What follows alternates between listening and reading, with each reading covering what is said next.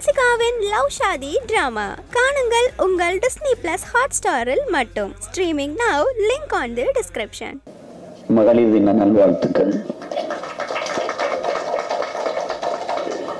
படம் கொஞ்சம் கால இடைவெளி ஆயிடுச்சு அப்படின்னு எல்லாம் குறிப்பிடுறாங்க அது. ஏழு ஆண்டு தாமசிச்சு. அது எழுபது ஆண்டுகள் கழிச்சு வந்தாலும் அந்த படம் எப்பவும் புதுசாக தான் இருக்கும். ஏன்னா காதல் என்றும் இருக்கு சாதி இன்றும் இருக்கு. அது அது இருக்கிற வரை இந்த படம் எப்போ வந்தாலும் புதுமையாகவும் புதிதாகவும் தான் இருக்கும். இந்த படத்தை பொறுத்தவரை அது ஒற்றை மனிதனின் உழைப்பு என் உயிர் தம்பி மு. கலஞ்சியம் அவருடைய உழைப்பு. தான் இதுல அவருக்கு உடனிருந்து உழைத்த என் உயிர் தம்பி ஒளிப்பதிரர் சிவசுந்தர் அவர்கள் ரொம்ப தமிழ் பற்று இன உணர்வு கொண்ட ஒரு குடும்பத்தின் பிள்ளை அவன் அதுக்கப்புறம் தெரியும் உங்களுக்கு கலை இயக்குனர் மயில் படத்தொகுப்பாளர் என் அன்பு இளவல் இசையமைப்பாளர் பிரியன். அப்ப எனக்கு அறிமுகப்படுத்தும் போது நான் திறமையை சந்தேகிக்கல? பன்னெண்டாவது படிச்சிருந்தா? அது இரண்டாவது அவன் மேல எனக்கு ஒரு நம்பிக்கை தம்பிக்கு மாதிரி எனக்கு இருந்தது. அதாவது நம்ம இதை விட சின்ன வயசுல சாதிச்சவர்களை நம்ம பார்த்தோம். அதனால எனக்கு ரொம்ப நம்பிக்கை இருந்தது. ஆனா இந்த அளவுக்கு பாடல்களை கொடுப்பார்னு நான் நினைக்கல. எங்க அண்ணன் எங்க அண்ணன் கூட சொன்னாங்க எங்க அண்ணன் மகேந்திரன் அந்த முதல் பாட்டு உலுக்கிருச்சப்பா அப்படின்ட்டு. அவனுக்கு என்னுடைய பாராட்டுக்கள் வாழ்த்துக்கள். அப்புறம் எப்பவும் போல என்னுடைய தம்பி கவிபாஸ்கர் என்னுடைய தம்பி நெருப்பு கவிஞன் இளையகம்பன். ஞான திமிரிலே பேசுவான் இருப்பான். எப்பவுமே ஒரு அறிவு திமிரிலே திரிவான். எவன் எழுதுவான்? நான் தான் எழுதுவேன். எனக்கு அழைச்சு தம்பிக்கு பணி தாருங்கள் டேய் இருடா வாரண்டா இருடா. ஏன்னா எங்களுக்கு பாடல் எல்லாம் எழுதுவான். அப்படி எழுதுவான் அவனு. அவனுக்கு அளப்பெரிய ஆற்றல். வந்து அவங்க சொல்ற மாதிரி என் தம்பி புதுவை சித்தனும் இளையகம்பனும் இணைந்து எழுதிட்டா அந்த பாடல் பாடல் இல்லை அது ஒரு காவியம்தான். எனக்கு சித்தன் வந்து பாட்டு அனுப்பிடுவான் எப்ப பாட்டு தனிப்பாடலா வந்தாலும் சரி திரையில வந்தாலும் அனுப்பிடுவான். திருப்பி நான் கம்பன் தானே எழுதியிருக்கான். அது திருப்பி இவன்னு கேட்பேன். ஏன்னா நீ தான் எழுதினியா அந்த பாட்டை? வேற எழுதுவான் உன் தம்பி தான் உணர்ச்சி பூர்வமான உணர்வு குவியலா இருக்கிற பாடல் காதல் பாடல் கிராமிய பாடல் எதுலையுமே சிறப்பா செய்யக்கூடிய ஆள் பெரிய பெரிய ஆற்றலாள என் தம்பி இளையகம்பன் அதே மாதிரி சித்தனெல்லாம் வந்து தமிழ் பேரினத்தினுடைய ஒரு சொத்து அவர் ஒரு அது ஒரு என் தம்பிக்கு பேர்ல களஞ்சியம் அவன் நம்ம இனத்தின் களஞ்சியம் அப்படியான அப்படியான ஆற்றலாளர்கள் அரிதினும் அரிதாக தான் இந்த இனத்துல பிறப்பாங்க. அது எங்களுடைய எல்லா மேடைகளையும் வந்து பொறுமையா பாடிட்டு போவா. கடைசியா அந்த எடுத்து அடிடா முப்பாட்டன் பறைய பாடிட்டியா? நான் வர முன்னாடி பாடிட்டேன். இல்ல உங்களுக்காக காத்திருக்கேன்னு கடைசியா பாட வச்சுதான் இறக்குவோம். எல்லாருமே பாராட்டுக்குரியவர்கள். அப்புறம் எங்க ஐயா ஜெயராவ் அவர்கள் அவங்கெல்லாம் அவ்வளவு இயல்பான நடிப்பை வெளிப்படுத்தக்கூடியவர்கள். என்னுடைய தம்பி புகழ். சிவப்பிரியா அவர்கள் புதிய முகங்கள் மாதிரி தெரியாது உங்களுக்கு அது காரணம் தம்பியுடைய பயிற்சி தான். ஆறு மாசம் படப்பிடிப்பு போறதுக்கு முன்னாடி பயிற்சி கொடுத்து அது நடிக்க வச்சாருங்களும் வாழ வச்சுட்டாரு. அந்த கதையை நீங்க பாத்தீங்கன்னா நாங்க எடுத்ததை அப்படியே விட்டுருந்தா ஒரு பெரிய பரபரப்பு தான். தமிழ்நாட்டுல அவருக்கு ஒரே ஒரு இது. அவர் இங்க எழுத்தாளரே சொல்கிறார் பாருங்க இதை எடுத்து எதுங்க பிரச்சனையில் மாட்டிக்கிறீங்கன்னு. இந்த பிரச்சனையை சரி பண்றதுக்கு பக்கத்துல ஒருத்தர் வச்சுக்கிறேன்னா என்னை கூட வச்சிருக்காரு. சண்டைக்கு தனியா தம்பி மட்டும் போகணும் அண்ணனையும் கூட்டிட்டு போகணும்னுட்டேன் தனிக்கு கொஞ்சம் நிறைய எங்களை சிதைச்சிருச்சு. குறிப்பா நான் பேசுற உரையாடல்களை. அது வந்து அவங்க சொன்னதை எங்க இவரை வச்சுக்கிட்டு இதெல்லாம் பேச வச்சீங்கன்னா பிரச்சனை ஆகி சட்டம் ஒழுங்கு பிரச்சனை ஆகிற போகுது அது நிறைய சிதைச்சிருச்சு. அதையும் மீறி இந்த படம் வந்து நிக்கும். அது உங்களுக்கு தெரியும் அதுல உண்மையிலே இந்த படம் வந்து என் தம்பி மாரி செல்வராஜ் எடுத்த பரியரும் பெருமாளுக்கு முன்னாடி வந்திருந்தா இதுதான் ரொம்ப பெருசா பேசப்பட்டிருக்கோம். அதுக்கு முன்னாடி தம்பி முந்திக்கிட்டான் அதை விட்டுட்டான் அந்த படத்தை. அப்புறம் எங்களுக்கெல்லாம் வருத்தம் இருந்துச்சு. வேணும்னு காலதாமதப்படுத்தல. காசு இல்ல அவ்வளவுதான் காசு இல்ல. சிறந்த படைப்புகள் இப்படி பல காலம் தேங்கி போயிருது. காரணம் பொருளாதார வலிமை இல்லாததான் வேணும்னு அந்த படத்தை எடுத்து வச்சுட்டு நம்ம வெளியிடக்கூடாதுன்னு ஒண்ணும் இல்லை. அப்ப நான் கூட சொன்னேன் தம்பி திரைக்கு போனது இதுலயாவது இந்த ஓடிடிலாம் சொல்றாங்க தொலைக்காட்சியிலாவது விட்டுருவோமா அப்படின்னு கூட கேட்டேன். இல்லைண்ணே நான் எப்படியாவது கொண்டு வந்துடுறேண்ணே நீங்க இருங்கண்ணே அப்படின்ட்டு பெரும் முயற்சிக்கு அப்புறம் அது வருது. அது திடீர்னு வந்தாரு எங்க என்னை வந்து நடிக்க அழைக்கும்போது தம்பி நீங்களே நடிங்க தம்பி நான் எதுக்கு இல்லைண்ணே இதை நீங்க பேசி நடிச்சா தான் சரியா இருக்கு வாங்க அப்படின்னு கூப்பிட்டாரு. அப்புறம் நான் போனேன். காசு கொண்டாந்து கொடுத்தாரு. இந்த கதையை எடுக்கிறதுக்கு நான் தான் உங்களுக்கு காசு கொடுக்குது நீங்க எனக்கே காசு எடுக்கிறீங்கன்னு சொன்னேன் இது இது பெருமைக்குரிய நிகழ்வா மாத்திய பெருமக்கள் இங்க இருக்கிறாங்க. ஒண்ணு எங்களுடைய ஐயா விக்கி டி பாலன் ஐயா அவர்கள். ஒரு மனிதன் தன் தன் உழைப்புல சாதிச்சிட முடியும் அப்படின்னு ஒரு வரலாற்று படிப்பினை ஒவ்வொரு மனிதனுக்கு இருக்கணும்னா அது எங்க ஐயாவுடைய உழைப்பு. சொன்னேன் கொஞ்ச நாளாக உங்களை நான் தொல்லையே பண்ணல. எனக்கு பயண சீட்டு போட்டு ஏன்னா என் கடவுள் சீட்டை முடக்கி வச்சிருக்காங்கன்னா அதை பேசி இருந்தோம். அப்படி. அந்த மாதிரி சொல்றாங்க பாருங்க. இந்த இதுலயே நான் நாற்பது ஆண்டுகள் ஆச்சு தூங்கி. இரவு பகலா அதையே தான் நானும் உங்க தம்பியை அனுபவிச்சுக்கிட்டு இருக்கேன். இரவு பகலாக நான் தூங்குற நேரத்துக்கு அவன் முழிச்சிருவான் அப்பா எனக்கு அடிப்பான். ஆஸ்திரேலியால பிரச்சனை அமெரிக்கால பிரச்சனை பிரான்ஸ்ல பிரச்சனை ஜெர்மனில பிரச்சனை எல்லா நாட்டு பிரச்சனையும் என் பிரச்சனையா மாறி இருக்குது இப்போ. அது நம்ம என்ன பண்றது இப்போ? அது ஒண்ணும் செய்ய முடியாது. ஏன்னா இந்த இனத்துல பிறந்துட்டோம். அதை அனுபவிச்சு தான் தீரணும். அவங்க ரொம்ப பெருமைக்குரிய ஒரு மாபெரும் மனிதர் எங்கள் எங்க ஐயா. அதுதான் சொன்னேன் அவங்க அது வந்து ஒரு முகவர்னு தான் சொல்ல முடியாது. ஒரு சேவை மையம் வச்சு நடத்திட்டு இருக்க மாதிரி தான் அது சேவை தான் இப்படிதான் சொல்லணும். சாதாரணமா ஒரு அளப்பெரிய பொறுமைசாலியால தான் இதை இதை வெற்றிகரமா நடத்தி எடுத்துட்டு போக முடியும். அது அதுக்கப்புறம் எங்க அண்ணன் ஏர்போர்ட் மூர்த்தி நீங்க பாப்பீங்க தங்கு தடையின்றி தர்க்கத்தை எடுத்துக்கக்கூடிய பேராற்றல் கொண்டவர் அவரு. ஆமா. எண்ணற்ற பிரச்சனை இல்லை. நான் பேச முடியாத எனக்காக எங்க அண்ணன் பேசிடுவாரு. அது அதுல எங்க அண்ணனுக்கு நான் ரொம்ப நன்றி கடன் பண்ணிருக்கேன் உடனே நான் எங்க அண்ணன் வினோத் அண்ணனுக்கு அனுப்புவேன். அவர் நான் ஏற்கனவே நான் தானே உங்களுக்கு அனுப்பினேன் பாரு அது மாதிரி எல்லாருக்கும் ஒரே நோக்கம் தான் இந்த சமூகத்தை ஒரு அரையங்கலமாவது மேம்படுத்திட முடியாதா? உயர்த்திட முடியாதா? அதை மாத்திர முடியாதாங்கிற ஒரு இதுல அதுல இன்னைக்கும் போராட்ட களத்தில் நிற்கிறவர் என்னுடைய அண்ணன் போட்டு மூர்த்தி அவர்கள். இப்ப என்ன போன்ற பிள்ளைகளுக்கெல்லாம் அந்த புரட்சிங்கிற வார்த்தை போராட்டம்ங்கிற வடிவம் மார்க்ஸ் பெரியார் லெலின் இந்த மாதிரியான கருத்தாக்கங்கள் புரட்சியாளர்கள் அம்பேத்கருடைய சிந்தனைகள் எல்லாம் உள்ளுக்குள்ள கொண்டு வந்த இயக்கங்கள் வந்து இடதுசாரி இயக்கங்கள் தான். அதுல எங்க அண்ணன் சி மகேந்திரன் அவர்கள் சொன்னது மாதிரி நாங்க ஒரே குடும்பத்து உறவுகள் நாங்க. அது பொது உடைமை குடும்பம் எங்க குடும்பம். எங்களுக்கு எப்பவுமே எனக்கு என் தம்பி ஜெகதீச பாண்டியனுக்குலாம் எங்க அண்ணன் மேல ஒரு பெரிய தீராத காதல் உண்டு. அவருடைய ஆற்றல் தடையின்றிய பேச்சாற்றல் எழுத்தாற்றல். சிலருக்கு பேச வரும் சிலருக்கு எழுத வராது. சிலருக்கு நல்லா எழுத வரும் அந்த கருத்தை கடத்த தெரியாது. அது இரண்டுமாக அமைய பெற்ற ஒரு பேராற்றல் கொண்ட பெருமகன் தான் என்னுடைய அண்ணன் மகேந்திரன் அவர்கள். இவர்கள்லாம் வந்து வந்து இந்த விழாவை சிறப்பித்தது என்னுடைய தம்பி சவுக்கு சங்கர் அவர்கள். பங்கேற்றுட்டு அவசரமா போயிட்டாங்க. அதுபோல தயாரிப்பாளர் தம்பி சுரேஷ் காமச்சி அவங்கெல்லாம்.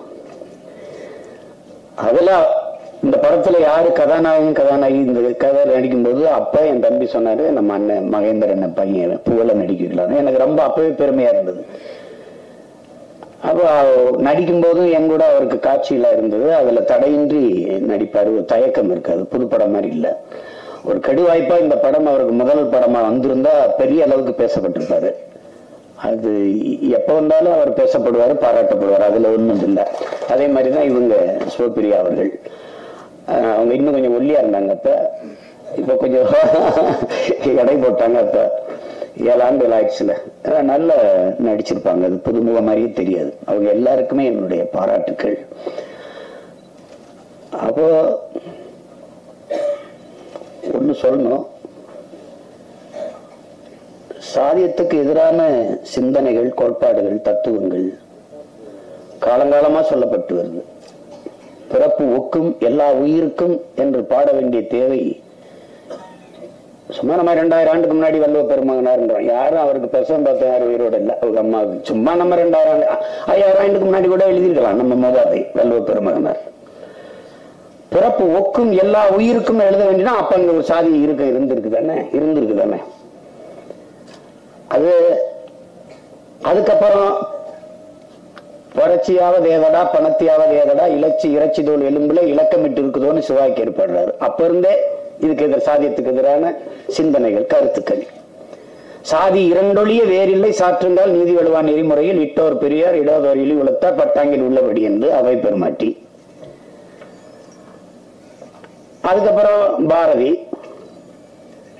சாதிகள் இல்லை இடி பாப்பா குலத்தாழ்ச்சி உயர்ச்சி சொல்லல் பாவம் நீதி உயர்ந்த மதி கல்வி அன்பு நிறைய உடையோர் மேலோர். நீதி உயர்ந்த மதி கல்வி அன்பு நிறைய உடையோர் தான் மேலோர். அவன் தான் உயர்ந்த சாதின்னு பாடுறான் பாரதி. அது அதுக்கப்புறம் நம்ம புரட்சி பாவலர் வர்றாரு. கடவுள் வெறி சமய வெறி கண்ணல் நிகர் தமிழுக்கு நோய் நோய் நோயே இடைவந்த சாதி எனும் இடர் ஒளிந்தால் ஆழ்வதனம் தாய் தாயேங்கிறார். ஆள் தமிழ் தாய் சொல்றார் அவரு. தமிழ் தமிழுக்கு தமிழுக்கு என்ற பேர் அந்த தமிழ் இன்பத்தமிழ் எங்கள் உயிருக்கு நேர் என்று பாடிய புரட்சி பாவலம் தமிழ் வளர்த்தல் ஒன்று சாதி ஒழித்தல் மற்றொன்று என்று பாடல. சாதி ஒழித்தல் ஒன்று நல்ல தமிழ் வளர்த்தல் மற்றொன்றான் முதல்ல சாதி ஒழிக்கணும்டான்றான். உயிருக்கு நேர் தமிழ்னு பாடினவன் தமிழ் வளர்த்தல் ஒன்று அப்படின்னு பாடிக்கணும் பாடல. சாதி ஒழித்தல் ஒன்று நல்ல தமிழ் வளர்த்தல் மற்றொன்று. பாதியை நாடு மறந்தால் மற்ற பாதி தொடங்குவதில்லைங்கிறான் ரெண்டையும் செஞ்சிருக்கணும்டாங்கிறான் அதை செய்யறதுக்கான முயற்சி மேடையில் தோறும் முழங்குறோம் எழுதுறோம். ஆனால் திரையிலையும் ஒரு தடவை அதை செஞ்சிருவோம் தம்பி என்னுடைய தம்பி ஆரோக்கிய தம்பி கலைஞன் அவர்கள் இந்த முயற்சி இது. அது இந்த பட வெற்றி பாராட்டு அது எல்லாமே ஒற்றை மனிதனுக்கு தான். அது என் தம்பி கலைஞத்துக்கு தான். நாங்கள்லாம் கூட இருந்தோம். கூட இருந்தோம் அவ்வளவுதான். எனக்கு எந்த சிரமமும் கொடுக்க எனக்கு வந்து சரி, சீமான் நடிச்சார் நடிச்சார். எனக்கு நடிக்க தெரியாது. என் இயல்புக்கு நான் இருப்பேன். எங்க அப்பா சொன்ன மாதிரி எங்க ஐயா சொன்ன மாதிரி நோ மேக்கப் என்னை வந்து சொல்லுவாங்க பேச்சில் எடுக்கும்போது அந்த கொஞ்சம் டச் பண்ணிக்கலாமா என்ன டச் பண்ணாலும் நான் இப்படி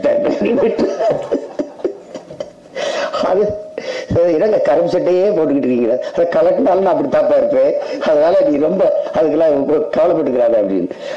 அது அது என் இயல்புக்கு இருப்பேன். அப்ப அது உடைகள்லாம் நாங்களே எடுத்துட்டு போயிட்டோம் வீட்டுல இருந்தே. தம்பி என்ன சொல்றாரோ அதுல பேர் என்ன?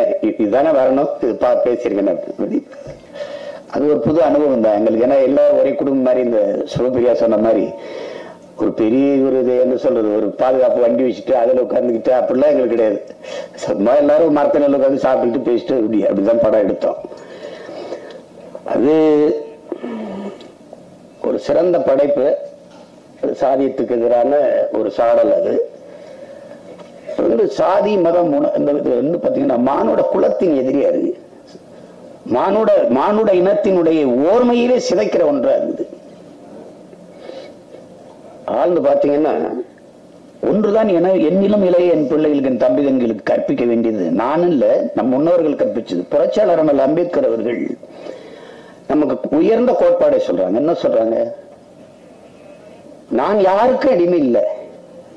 எனக்கும் யாரும் அடிமை இல்லை இவ்வளவுதான் நம்ம ஒவ்வொருத்தரும் எண்ணிக்கொள்ள வேண்டியது. ஐயா பெரியார் அவர்கள் தான் உயர்ந்த சாதி என்று எண்ணிக்கொள்கிற பெருமக்களே அதை போலவே உங்களுக்கு கீழே எவனும் தாழ்ந்த சாதி இல்லை என்று எண்ணிக்கொள்ளுங்கள். முடிஞ்சு போச்சு. பிரச்சனை கிடையாது. இந்த மதமா? அதுக்குள்ள பிரச்சனை. ஒரே ஒரு கோட்பாடு தான் என் உடன் பிறந்தார்களே. உன் மதம் சிறந்தது வழிவிடு என் மதமும் சிறந்தது வழிவிடு. இவ்வளவு. அதை போட்டு குழப்பிக்கிட்டு அலையக்கூடாது. நீங்க மானுட சமூகம் எப்ப தோன்றியது? முதலில் தோன்றியது மொழி இனமா சாதி மதமா? மனிதனின் உழைப்பிலிருந்து முதன் முதலாக தொடங்கி தோன்றியது மொழிதான். தூர நின்னா கத்துனா ஏய் இந்த ஒளிகள் எல்லாம் இன்றும் தமிழில் இருக்கிறனாதான் முதல் மொழி தமிழ்ங்கிறான். ஆய்வறிஞர் எல்லாரும் அலெக்ஸ் கொலியர் கூட அமெரிக்க மொழியில் ஆய்வறிஞர். உலகத்தின் முதன் முதலில் மனிதன் பேசிய மொழி தமிழ் தான் நான் சொன்னா கூட தமிழன் பெருமையா பேசுறான்னு நினைக்கலாம். ஆதியில் காடுகளில் இருந்து மனிதர்கள் இடம்பெற தொடங்கிய போது அப்போது அவர்கள் பேசிய மொழியில் இருக்கிற ஒளி வடிவமும் எழுத்து வடிவமும் இன்றும் தமிழில் காண கிடக்கிறது என்றார் கால்டுவெல் அப்போது அந்த முதலில் தோன்றியது மொழி. அந்த மொழியை பேசக்கூடிய மக்களின் கூட்டம் இனம் அதை வரையறுக்குள்ள வருது. அந்த இனம் நிலைத்து வாழக்கூடிய ஒரு நிலப்பரப்பை கொண்டிருக்குமே ஆனால் அது தேசிய இனம் என்று வருது. அதனாலதான் நாங்க தமிழர்கள் தமிழ் தேயர்கள் தமிழ் தேசிய இனம் என்று சொல்றோம். மொழி வழியே தான் தேசிய இனங்கள் நிலங்கள். அப்படிதான் இருக்குது. ஐரோப்பால முழுக்க கிறிஸ்தவம் தான் அப்புறம் எத்தனை நாடு? டென்மார்க் எதுக்கு சுவிஸ் எதுக்கு நார்வே எதுக்கு ஸ்வீடன் இருக்கு ஜெர்மன் எதுக்கு? ஏன்னா மொழி வழிய தேசிய இனங்கள் நிலங்கள் இனங்கள். அப்படிதான் எவனும் மதத்தை வச்சுலாம் சாரி வச்சுலாம் அடையாளம் தேவர் ஐ ஆம் நாடர் ஐ ஆம் செட்டியார் அப்படிலாம் சொல்லிட்டு முடியாது ஹூஆரின்னு கேட்கும்போது ஐ ஆம் இண்டுன்னா போட மண்டுன்னு போய்வான் ஐ ஆம் கிறிஸ்டின் கிடையாது. ஐ ஆம் இஸ்லாம் கிடையாது. ஐ ஆம் இங்கிலீஷ் தான். ஐ ஆம் பிரெஞ்சு அப்படிதான் அறிமுகப்படுத்துவான். இங்கதான் ஒரு கொடுமை இருக்குது. இங்கே மத வழியே சாதி வழியே மொழி வழி மாநிலங்கள் பிரிக்கப்படலையே. மாநிலங்கள் பிரிக்கப்படும் மொழி வழியே தான் தேசிய இனங்கள் நிலங்கள் மாநிலங்கள் பிரிக்கப்பட்டிருக்கு இந்த நிலப்பரப்புலையும். கெட்டியா பிடிச்சிட்டோம் எங்க அப்பா அமைதிப்படை நாங்க எடுக்கும்போது எந்த வசனத்தையும் நாங்க எழுதிட்டு போய் எடுக்கிறது இல்லை. கதையவே எழுதிட்டு போய் எடுக்கிறது இல்லை. அங்கதான் போய் எழுதிக்குவோம் அது வேற கதை. அப்ப எங்க அண்ணன் சத்யராஜ் கேட்பாங்க இவரு எங்க அப்பா கேட்பார் அவர்கிட்ட. என்ன மாதிரியா இந்த இந்தியா இந்த வாஸ்கோட காமா கண்டுபிடிச்சான் அமெரிக்காவை கொலம்பஸ் கண்டுபிடிச்சான் அப்படின்னா இந்த சாதிக்கிற மந்தத்தை யாரு கண்டுபிடிச்சான் அட மணியாற்றம் கண்டுபிடிச்சா அந்த மந்திரிமார் கட்டியா பிடிச்சி தொங்குறா அப்படின்னு. அதை ஒழிக்க முடியாது. ஒழிக்கலாம். நாம தான் சோத்துக்கு சிங்கி அடிக்கிறது. அரசியல் அரசியல் எம்எல்ஏ அது சொல்லாரு. அந்த மாதிரி குளத்துல குளிக்கும் போது ரெண்டு சண்டை வந்துடும் எங்க அண்ணன் சத்யராஜ் அவர்கள் போட்டிருந்த டவுசரை யாரும் துவைக்கிறது உள்ளாடைய. அதுல எங்க அப்பாவுக்கு இன்னொரு ஒரு நடிகர் அண்ணனுக்கு மாதிரி டூப்புக்கு கூட்டிட்டு போனவர் ஏன்னா அப்படி சத்ய சிந்தம்பர் பின்பக்க காட்சி எடுக்கும்போது ஒரு ஆள் நிக்க வைக்கணும். முன்னாடி ரெண்டு வேடம் இல்லை அண்ணன் சத்யராஜுக்கு அப்ப. ரெண்டு பேரும் சண்டை போட்டுக்கிறாங்க. சண்டை போட்டோன்னா இப்ப ஏதோ பேசிக்கிட்டு இருந்தோமே அது என்னன்னு கேட்பாரு அண்ணன் சத்யராஜ் எங்க அப்பாட்ட. அதாவது அதுன்னா அது சண்டை அடிச்சதுல சண்டை பிடிச்சதுல மறந்து விட்டுட்டானுங்க அப்படின்னா. அப்போ சண்டை அடித்தா பழசெல்லாம் மறந்துடுது அப்படின்னா. ஏன் சனங்க இந்த வாட்டி நமக்கு ஓட்டு போட மாட்டாங்கண்ணா? ஏன்? நம்ம தான் ஒன்றும் செய்யலையே அப்படின்னா. அதான் அங்கே ஒன்றுமே செய்யலையில அதனால தான் போட மாட்டாங்க அப்படின்னா. இப்போ இந்த பழசெல்லாம் மரக்கடிக்கிறதுக்கு என்ன பண்ணுறதுன்னா இப்படி சண்டை அடித்தா மறந்து போயிருது அப்படின்னா சரி சண்டையை மூச்சு விடு. இந்த கீழ் சாதிக்காரன் மேல் சாதிக்காரன் சண்டையை மூச்சு விடு போ அப்படின்னு அந்த மாதிரி இது காலங்காலமா இது ஒரு மோத விட்டு மோத விட்டு இந்த இந்த இனக்கூட்டத்தை. இதைத்தான் வந்து நமது முன்னோர்கள் தன்னின பகைங்கிறாங்க. குறிப்பா ஐயா காப்பா அரவாணன் தமிழன் ஏன் அடிமையானான்? அப்படிங்கிறதுல இதுதான். தமிழ் சமூக ஓர்மைக்கு பெரும் இடையூறாயிருப்பது சாதி மத உணர்ச்சி தான். நீங்க என்ன பாருங்க. கன்னியாகுமரி போங்க நாகர்கோவில் போங்க அங்க பெருத்த தமிழ் சமூகம் வந்து நாடார் சாதி தான். அப்ப அவனை எப்படி பிரிக்கிறது? அவனை ஒற்றுமையா இருக்கக்கூடாது இந்த நாடார் கிறிஸ்தவ நாடார்னு பிளந்து பிரிச்சுதான் திருநெல்வேலி வாங்க ஒரே மதம் பெரிய மதமா இருக்கிறது இந்து தான். அவன் எப்படி பிரிக்கிறது? நீ தேவர் நீ தேவேந்திரர் நீ பிள்ளை நீ முதலியார் நீ கோனார் நீ நாடார். பிரிச்சு போட்டுரும். இது தெரியாம இந்த கீழான உணர்ச்சியில் சிக்கிக் கொண்டு தமிழ் தேசியை நாம் ஓர்மைப்படாம அரசியலும் இல்லாம அதிகாரம் இல்லாம அடிமைப்பட்டு கிடது எத்தனை பேர் பாடியாச்சு?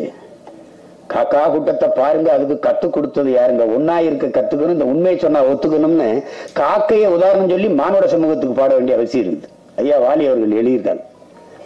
ஓங்கி வளர்ந்த மூங்கில் மரம் ஒன்ன ஒண்ணு பிடிச்சிருக்கு ஒழுங்காக குறித்து விட்டு கலகலையா வெடிச்சிருக்கு.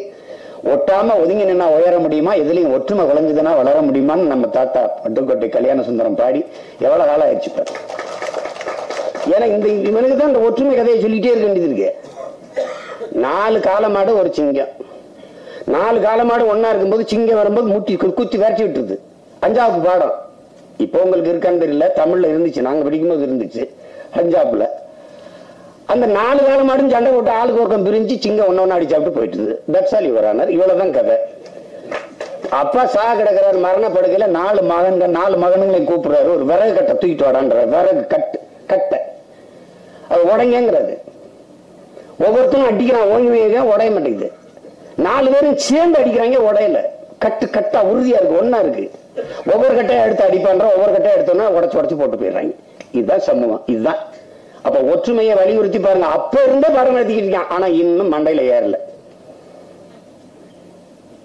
புத்தர் வந்தார் இயேசு வந்தார் காந்தி வந்தார் என்னென்னத்தையோ பேர் சொன்னாங்க இது எழுதி எழுதி வச்சாங்க. எல்லாத்தையும் தான் படிச்சீங்க என்ன பண்ணி கிழிச்சிங்கம்மா. அந்த கதையை நம்ம இன்னும் கிழிச்சுக்கிட்டு தான் இருக்கிறத. உனக்கு என்ன இருக்கு? சாதி மதம். சண்டை அடிச்சு செத்தினா புதைக்க சுடுகாடு. அதுவும் சில சாதிக்கு இல்ல. அதுவும் சில சாதிக்கு இல்ல. இந்த கொடுமையில நின்றுட்டு இருக்க அத இந்த கொடும் தீயை அணைக்கிறதுக்கு தான் இந்த படம். அதான் என் தம்பி இளைஞன் சொன்னால அந்த அந்த பாடல் வரியில நாளே வரியில முடிச்சிட்டான் மொத்த படத்தை. மொத்த பட கதையும் முடிச்சிட்டான் அது ஒரு அரிய படைப்பு முந்திரி காடு. எங்கள் அண்ணன் ஏர்போர்ட் மூர்த்தி அவர்கள் வந்து இது ஒருவேளை தமிழரசன் கதையை சொல்லுதோ? அப்படின்னு நினச்சி வந்தேன் அப்படின்னு தமிழரசன் கதையை சொல்லலை தமிழரசன் சிந்தனையை சொல்லுது. ஆமாம் அது அப்படிப்பட்ட ஒரு படத்தில் பங்காற்றி அதுக்கு அரும்பாடாற்றி அத்தனை தொழில்நுட்ப கலைஞர்கள் குறிப்பாக தம்பி வரைகளை பவன்குமார் தம்பி அண்ணன் தயாரிப்பு நிர்வாகி எங்கள் அண்ணன் குமார் அப்போ எல்லாருக்கும் என்னுடைய அன்பும் நிறைந்த வாழ்த்துக்களும் விரைவில் திரைக்கு வருது. மாபெரும் வெற்றியடையும். நல்லா பேசப்படும். பேசப்படும். நாங்க பேசியிருக்கிற இதெல்லாம் எல்லாமே ஒரு கோட்பாடுகளா இருக்கும். அது தத்துவமா இருக்கும். இந்த இந்த தலைமுறைக்கு ஒரு படிப்பினையாக இருக்கும். அதுக்குள்ள ஒரு வலுவான காதல் அழுத்தமான காதலை பதிவு செஞ்சிருக்கிறாரு. வந்து கடும் உழைப்பை கொட்டி இவள் இப்படி ஒரு படத்தை உருவாக்கி என்னுடைய ஆறுயிர் இளவல் என் அன்பு தம்பி களஞ்சியம் அவர்களுக்கு என்னுடைய அன்பும் நிறைந்த வாழ்த்துக்களும் பாராட்டுகளும் மாபெரும் வெற்றியிட நான் உளப்பூர்வமாக வாழ்த்துகிறேன் வந்து பெருமைப்படுத்திய என்னுடைய ஐயா பாலன் ஐயா என்னுடைய அண்ணன் மகேந்திரன் அவர்கள் என்னுடைய அண்ணன் ஏர்போர்ட் மூர்த்தி அவர்கள் அனைவருக்கும் என்னுடைய அன்பும் நன்றியும் வணக்கம் Five years I'm searching for that only. Now you'll finally find it. No, Ghosti is releasing 17th March. After that, you have your answer. What a way of promoting I'm telling you. losing someone's issue. Array, you will be sorted.